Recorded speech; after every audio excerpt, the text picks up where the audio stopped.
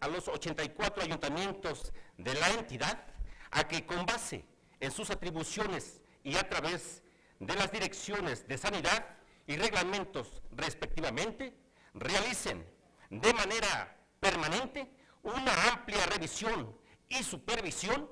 de las medidas de restricción de acceso y venta de bebidas alcohólicas a menores de edad, así